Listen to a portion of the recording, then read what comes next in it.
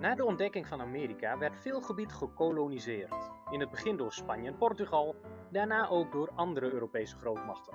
Groot-Brittannië bijvoorbeeld had delen van de oostkust van Noord-Amerika, daar zo. Veel mensen verhuisden naar deze koloniën en voor Groot-Brittannië was dit lucratief. De koloniën hadden namelijk producten uit Europa nodig die ze zelf niet konden produceren. In de Britse koloniën mochten alleen Britse producten worden verhandeld. Handel met andere landen mocht dus niet. Koning George III van Engeland kon dat geld goed gebruiken.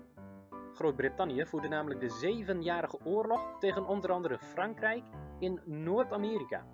En oorlog voeren kost veel geld. George III verhoogde daarom de belastingen in de koloniën in Amerika. De accijnzen op suiker, thee en papier werden verhoogd. Deze belastingen lokten verschillende reacties uit. Belasting betalen op zich was logisch, dat moest iedereen. Toch maakten vertegenwoordigers van de 13 koloniën zich woedend over het feit dat ze wel belasting moesten betalen, maar niet konden meebeslissen over hoe dat geld werd gebruikt. Ze hadden namelijk geen stem in het Engelse parlement. Het motto werd No taxation without representation, oftewel geen belasting zonder inspraak. Er werden ook pamfletten gedrukt en verspreid waarin werd opgeroepen om zich af te scheiden van de Britten. De 13 koloniën gingen zich dus meer verenigen. In december 1773 werd dat ongenoegen wel heel duidelijk. In de stad Boston ging een groep mannen, waaronder enkele vermomd als indianen, aan boord van schepen met ladingen thee en kieperden meer dan 300 dozen thee in het water. Dit incident staat bekend als de Boston Tea Party.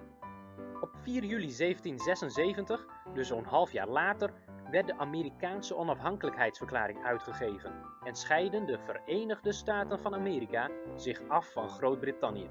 Thomas Jefferson schreef de tekst voor de onafhankelijkheidsverklaring. Het was de eerste keer dat er verlichtingsideeën werden vastgesteld in een officieel staatsdocument.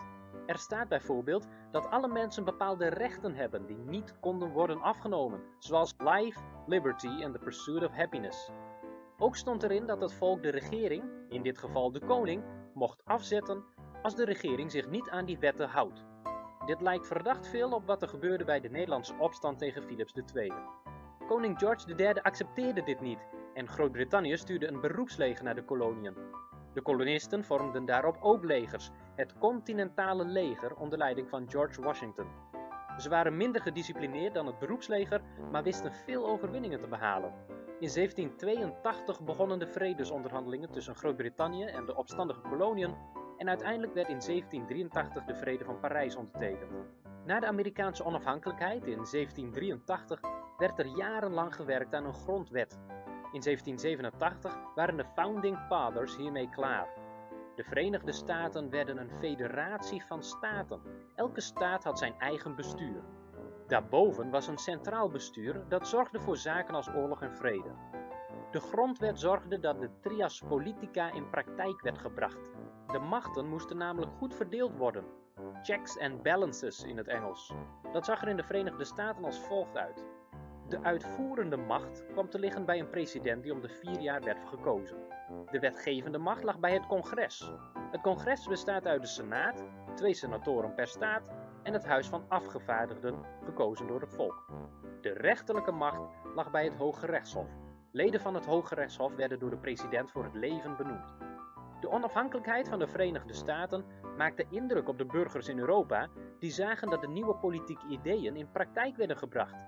Zouden de verlichte ideeën ook in Europa kunnen worden gerealiseerd? Enkele jaren na de Amerikaanse revolutie breken er ook revoluties uit in Europa.